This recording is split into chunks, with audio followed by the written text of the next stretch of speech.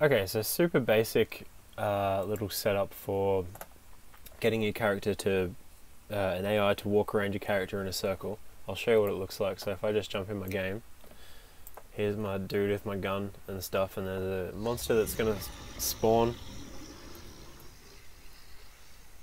just like that, right? And if I run away from him, he's just gonna. God, that's such an awkward walking animation. Oh, yeah. Yeah, you get the idea. Um, so it's actually super easy to set up. So all you got to do is in your behavior tree. Um, this looks complicated because there's a lot of shit in here, but don't worry about all of this.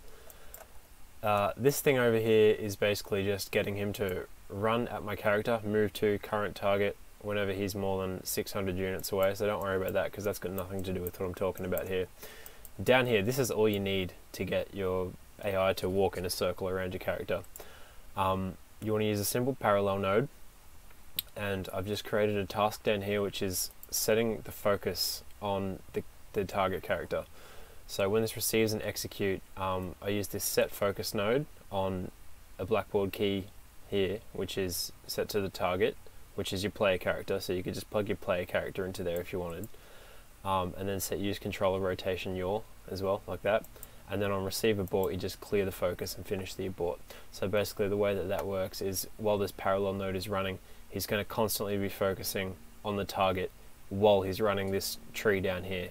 And then you know you can have an abort or whatever with a blackboard condition there if you wanted to stop focusing. But anyway the move in the circle thing down here on the task down here this is all you've got to put in. Receive execute cast a character add movement input and just input a right vector. Because your AI is going to be looking at the target, and if he inputs a right vector, he's just going to constantly move around in circles around that target because he's always going to be looking at it. Um, so you add the movement input for that frame, and then you just add a delay at zero seconds. So then the next frame, it adds the same movement input, and he'll just keep moving around in a circle. And then when you want this to finish, obviously you just you call the abort, and then this whole thing just cancels. Um, if you wanted to move counterclockwise the other way, um, you just negate this vector, I suppose, and then he'd go back the other way because um, it's that'd be the left vector rather than the right vector. Um, so that's the basic setup. And if you wanted to get him to, you know, switch directions, if you hit something or whatever, you could add a line trace in here to determine the direction. Um, yeah, and I mean you can play with it and play around with the the distance that you want him to start strafing in the circle at, and etc.